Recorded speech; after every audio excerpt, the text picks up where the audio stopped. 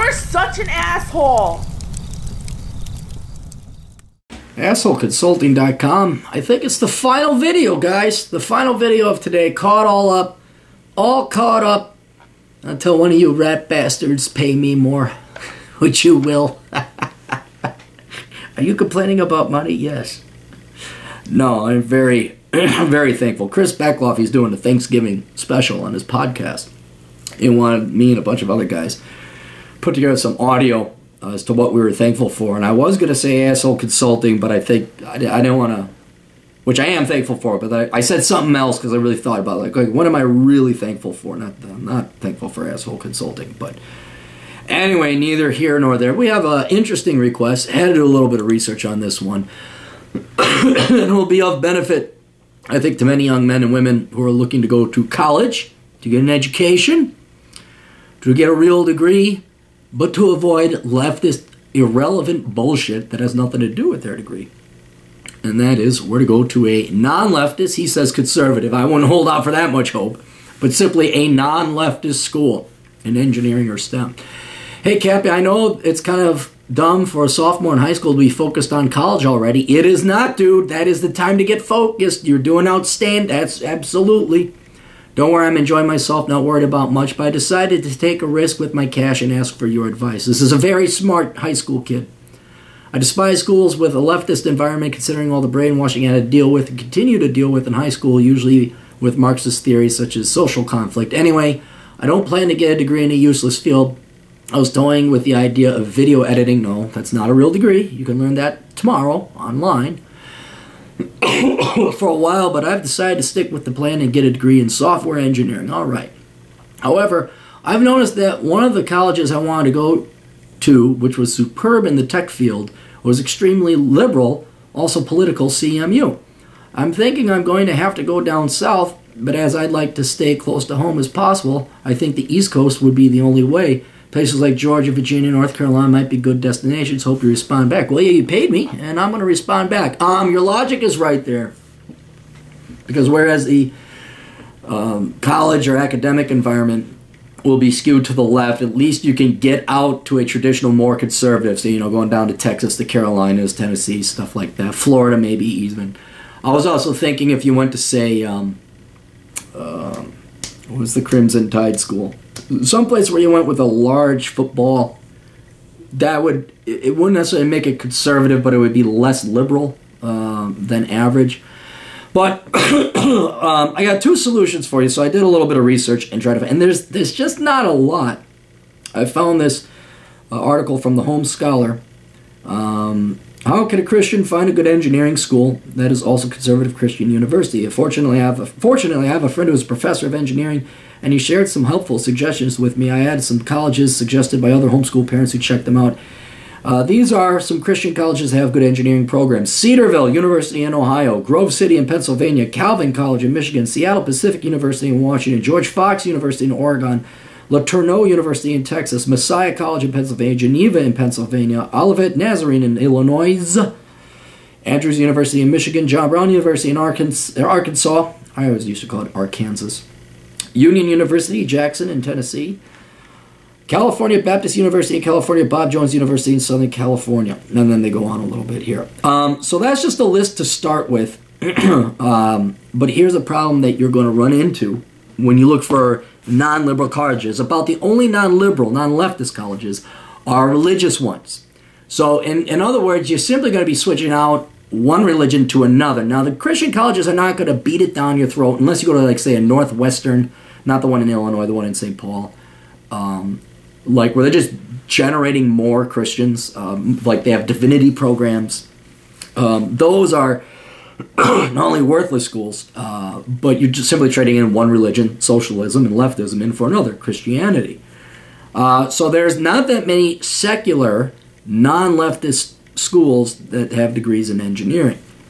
So, yeah, you could go them. The other problem with these, I forgot to mention, um, most of them are private, and therefore you're going to be paying an arm and a leg for these schools. So I've come up with kind of two workarounds or two solutions. So in addition to that list, if you're okay with getting some indoctrination on Christianity, And paying an arm and a leg, that's a list that you could start with. Um, but then some others did come from mind. Brigham Young University. Um, no booze, no partying, no nothing else, but it's fun because it's out in Utah. You get a lot of hiking in. Texas A&M. Uh, that's it. Georgia Tech. Again, getting kind of your southern schools down south where it's warm. That's another thing to consider. Uh, Urbana-Champaign, Illinois. University of Illinois, Urbana-Champaign. Really good uh, engineering school. Consistently highly ranked. South, but not the Creole, Southern South, proper gentleman, debutante, and everyone's name is Beauregard. Um, but still, it's it's a relatively good school. Um, anything, uh, people, and then also depending on if if you want this, I'd recommend you know if you want to get into geology or something, the School of Mines, like the South Dakota School of Mines, Colorado School of Mines. I think even Utah has a School of Mines, um, because it's very focused and know, kind of like going to a trade school like how out here in the Twin Cities we have a, a trade school called Dunwoody Institute, and um, pretty apolitical, and they just train mechanics and programmers and stuff like that. Um, so if you go into a trade school, that's another thing. Uh, but those are those are some some colleges, uh, uh, particularly the School of Mines, if you want to get into something that's very specific. It's only focused on engineering. Um, the problem or the benefit, though, that you're going to run into is I know you want to go to a school that's not leftist, but keep in mind, you're not going to school for politics, right or leftist politics. I know you wouldn't like to be annoyed by it. I know you don't want to participate or have it shoved down your throat, but you can pretty much avoid politics going to school.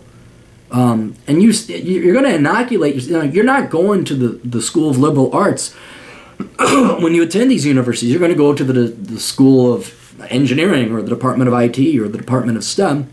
And that right there will inoculate you against a lot of the leftist political indoctrination and bullshit. Now, don't go to Purdue. Purdue, they put the dean of engineering as some woman with a fucking liberal arts leftist social justice warrior bullshit. So don't go there. Do not go to Purdue. Um, but any legitimate school like a, that has a real engineering program, because of the nature of engineering and STEM and IT, it's realistic, it's math, there's no real opinion. Now, you will get, if you go to these schools right off the bat, you are going to get your indoctrination in two ways. One, the freshman orientation, they're going to make you take all that crap. And then two, in your prereqs, all right, that have nothing to do with your, your degree. So that you really can't avoid, or can you? Which is what I'm also going to recommend you consider doing now because I rarely see a sophomore. I have I have a, a buddy who has a, a daughter who's a sophomore, and I'm like trying to get this kid she won't even listen to me, so but you will because you paid good money, and so I want to make sure you get your money's worth. What I would do is I would go to community college for your first two years, or go online to a, an online university like Western Governors University or Arizona State University online, something that's accredited, and just take your prereqs now.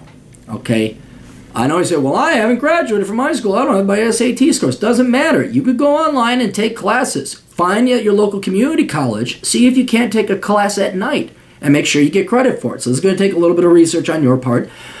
you might be a little bit apprehensive of going online, but I understand. But if you want to, and maybe it'd be good to actually go to the local community college, find out if you can enroll, find out if you're going to get credits.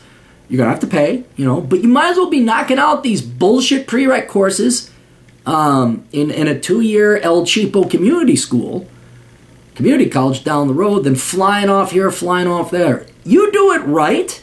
You do it right. You should have two years worth, or at least a year's worth of college classes done and wiped out. The bullshit done and wiped out. Right? By the time you graduate from high school. And then you only have to go to college for like two years or three, you know, depending on how much you knocked out. Or maybe just take your time. Like you don't take a full load, just take it easy. but then you avoid uh, the lion's share of this leftist indoctrinated bullshit and poppycock. Right? You you just start going. You know, you enroll at the School of Engineering. You enroll at the. Now you're also gonna have to find out. Like, let's say you decide you inevitably want to go to Texas A&M. You're gonna have to find out what their requirements are to apply and attend Texas A&M. So again, you may want to tailor some of the classes you're taking at community college. But at minimum, you're knocking out the political leftist bullshit indoctrination with a community college where the where the culture there is a little bit more hands-on and cheap and it's not as political. It's not like you're going to Berkeley. You know, you go to Johnson County Tech or Johnson County Community College. Again, making sure it's accredited.